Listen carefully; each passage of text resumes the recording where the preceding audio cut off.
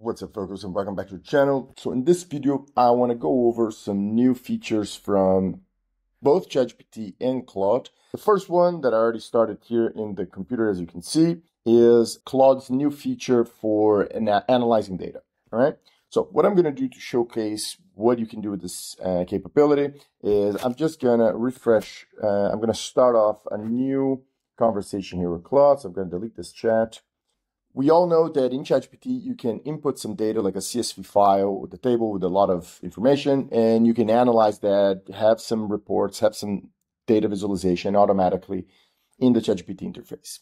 And that was something that was not possible exactly like that in Claude before, like actually analyzing data, but now you can do that, and it's super simple.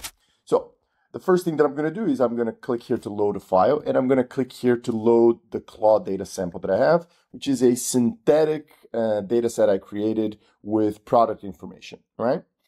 And uh, what we're going to do is we're just going to uh, ask uh, Claude to create an interactive and visual dashboard showing the main insights of this data set. Obviously, we could ask for something specific, but we're going to start easy.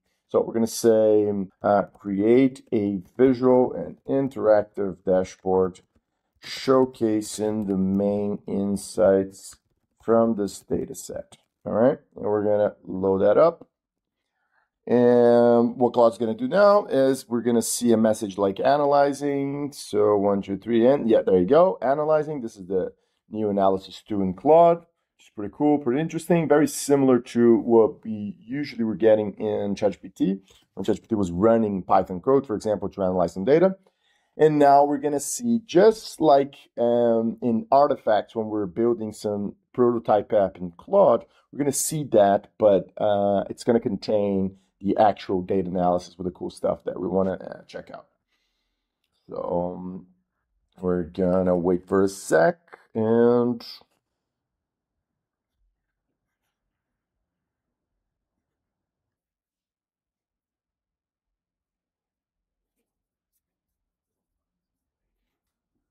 There you go, folks. Then we got our little data analysis tool, and let's check out what it looks like. So essentially here we have the first thing in the dashboard is category distribution because the data set has a bunch of information about different products. So you have the different products, their prices, some description of the product, and the category of the product. So the first thing the, the model is doing here is quite interesting is showing a pie chart distribution of all the categories and you know how much of each category is present in the data, which is pretty cool. So we look at the average price by category, which is pretty cool. Uh, there might be one mistake in the average price for CPUs. Yeah. So we might have an issue with this average. I might have an issue with this average price dashboard. Uh, but everything looks pretty good so far. Average rating. So the ratings are values between zero and five, which are supposed to simulate this idea of rating a product like you would in Amazon or whatever uh, website you use to buy products. And the price distribution. Uh, so the different prices of for all the products. And then you got a product list. And this is really cool. You can like analyze it based on filtering by category. That's a pretty cool feature that was just Claude decided to put that in. However, and there's something that I don't like about this dashboard. For example, let's start with category distribution. I want this to be in percentages, not in actual absolute values. I also think that it needs to review the average price by category.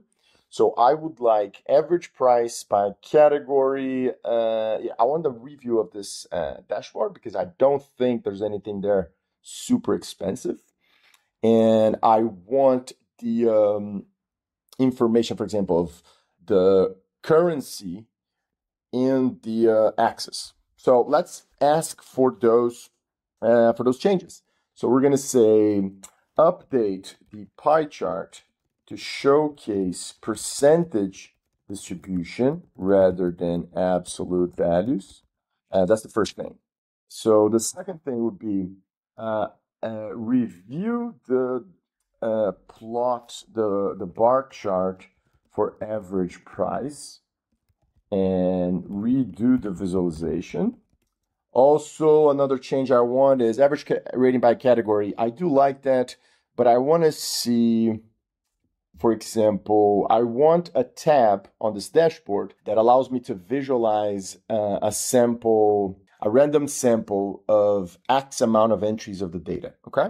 So create an extra tab with the option to visualize like X amount of random entries from the data.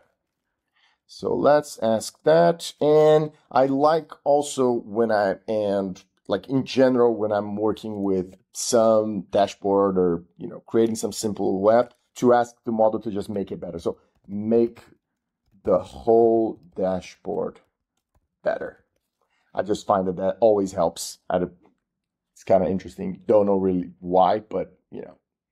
So now the model is going to generate another version of that same dashboard, hopefully integrating all the things that I asked about the specific improvements that I wanted. Specifically, I want to see now a pie chart that has the percentage distribution per category.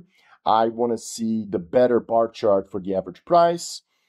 I want that extra tab with the visualization of the X amount of entries of the actual raw data that I inputted to Claude. And let's see what kind of changes happen regarding improving the app generally, which is the fourth request that I made. So let's take a look and let's see what happens.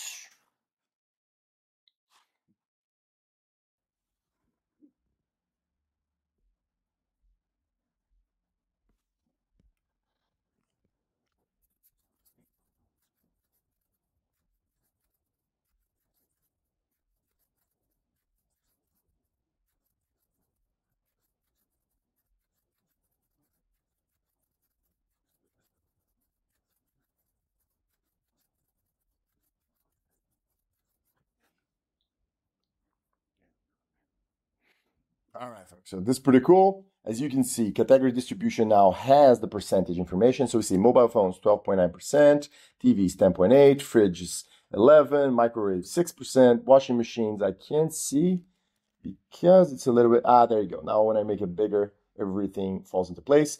Average price by category now looks much more correct. Yeah, mobile phone. Okay, it's saying that the mobile phone, the average price is 2000. So that might be a mistake. Uh, digital cameras, that's probably correct. Uh, freezers, uh, that's probably not correct. So we're gonna we're gonna investigate that. But overall, this dashboard looks amazing, right?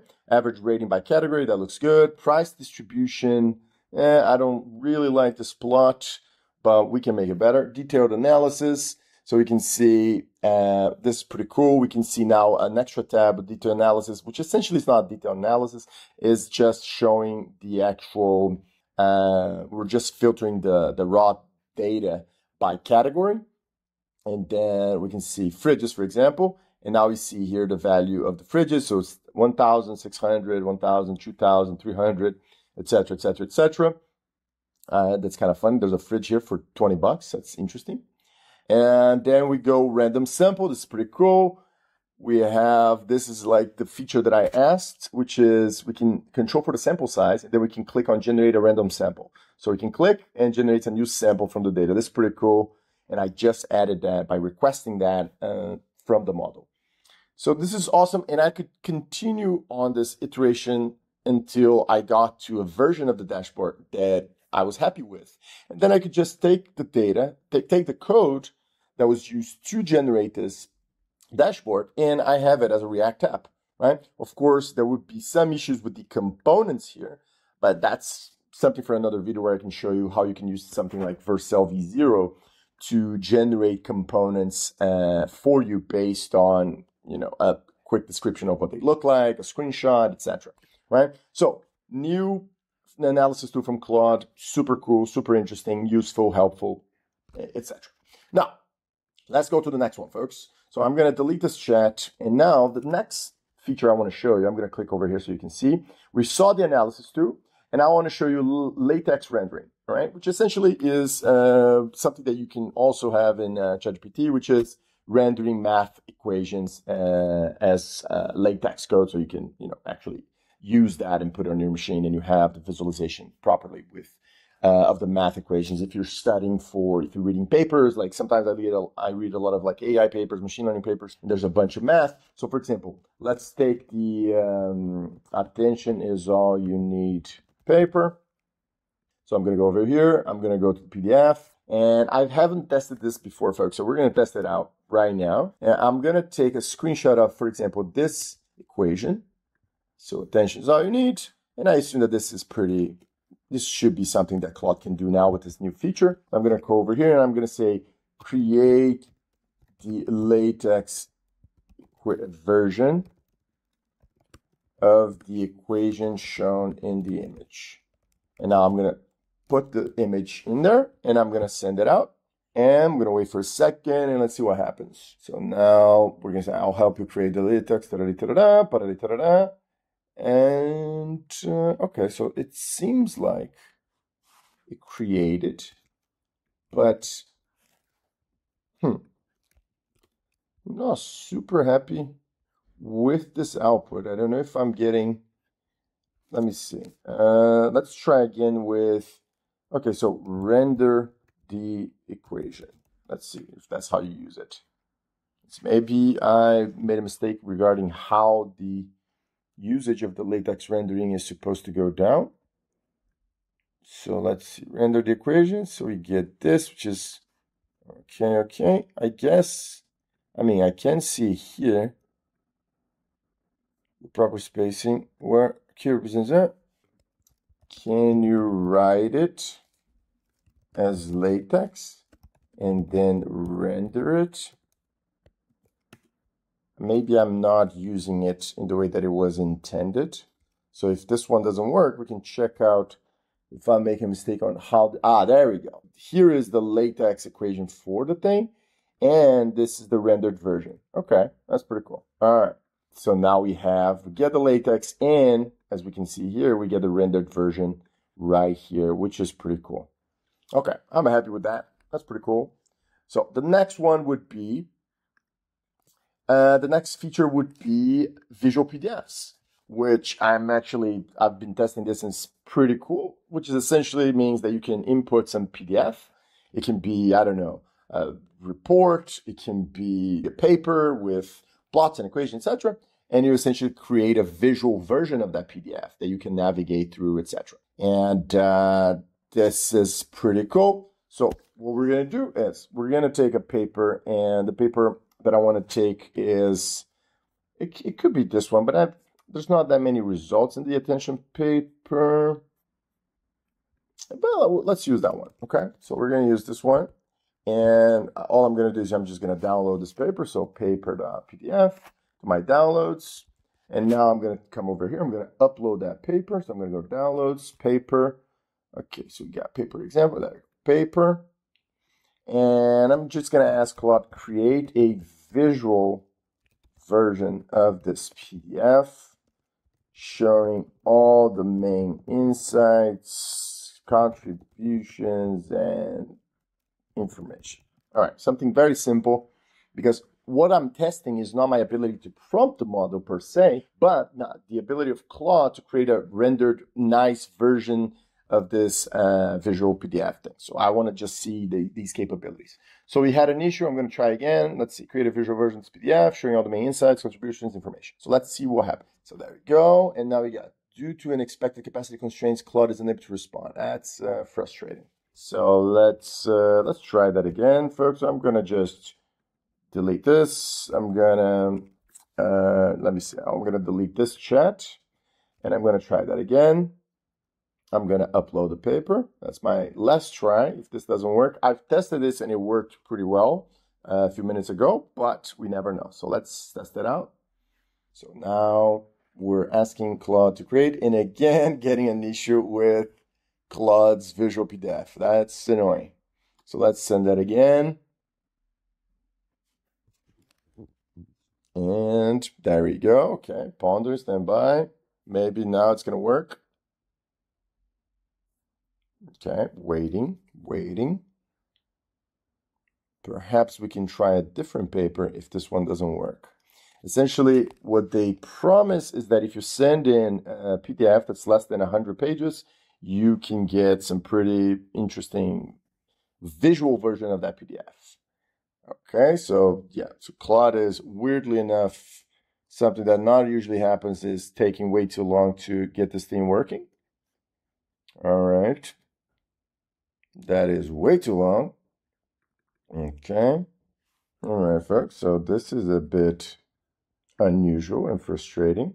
So I'm going to delete this. And I'm going to say, okay, quiz from PDF. This was a quiz I created from the PDF. Yeah, this was a quiz PDF that I did a while ago. Let me just delete this as well. All right, we're going to try one more time with a different paper. All right, so I'm going to send the same prompt. I'm going to upload a different paper.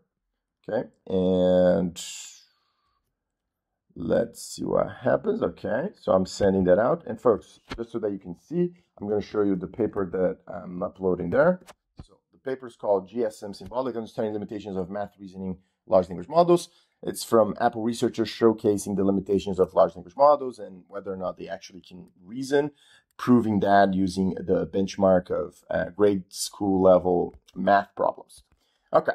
All right, folks. So now it seems that it's working and it's creating somewhat the, the thing requested, hopefully. And one thing that I did not, I don't think I I was able to understand is the difference between the Claude's, the difference between Claude's artifacts and this visual PDF, etc. Because it's prompt, it's meant to be a new, different functionality feature, but it seems very much like it's just uh, Claude artifacts. But maybe I'm getting something wrong. I'm not 100% sure.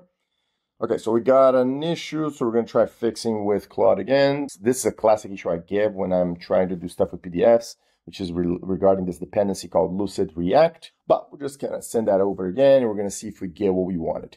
So essentially what we're getting here is a visual summary with title, key findings, contributions, implications. This is kind of a standard visualization of a PDF that Claude usually generates when we ask it. Uh, I'm not really sure how I can verify that what I'm using or what I'm getting is this visual PDF. So it's on here. Uh, provide uh, high cloud. Okay, yeah. All right, beautiful. Look at that. Okay, so we get a little uh, visual. It's kind of like a summary as a simple app. It's, it's nice, but it's not exactly like groundbreaking. Let's say it's just uh, like a simple, just text organizing some bullet points. So what I'm going to do is I'm going to go back to this paper. I'm going to take a look at the data and the find. So experimental setup results. There you go. So these are the results for Gemma, Llama 3. So they compare different open source models and closed source models on the GSM8K dataset. You don't have to know about this. All you have to know is that I want to see, for example, figure two as an interactive dashboard. Let's see if we can get that. Can you make figure two from the PDF a simple interactive plot chart, a visual interactive plot chart, and add it to our visual PDF app as an extra tab. Okay, this is pretty cool, right? Because imagine we're like compiling some interactive visual web version of that PDF which for me it's always cool. It's a fun way to to play around with data and information. So it went to get the data from the figure true. So it's saying Gemma 2 9 billion parameters IT GSM8K 87. So let's take just this data, GSM8K 87 from Gemma 2. And I'm going to go to Gemma 2 87. So Llama 3 should be 74. So see, let's see, Llama 3 74, perfect. GPT-4o 95. 95 is correct. Okay, so it's comparing these three. Okay, that makes sense because these are the three. Ah, no, but there's also Phi 3 medium, Phi 3 mini instruct, and Mathstral. And here it's just comparing, apparently it's just going to compare the, um, it's just going to compare two models from that figure. So it's comparing these three. So it's comparing Gemma, Llama, and GPT-4o. But this is pretty cool, folks. Even though that's true, and it's not comparing all the um, all the models in the figure two. As you can see in figure two, we have six models being compared, right? We got Gemma 2, Llama 3 8B, Instruct, GPT-4o, Phi 3, Phi 3.5, and Mestral. However, what's pretty nice is that we get this demonstration of the frequency plot.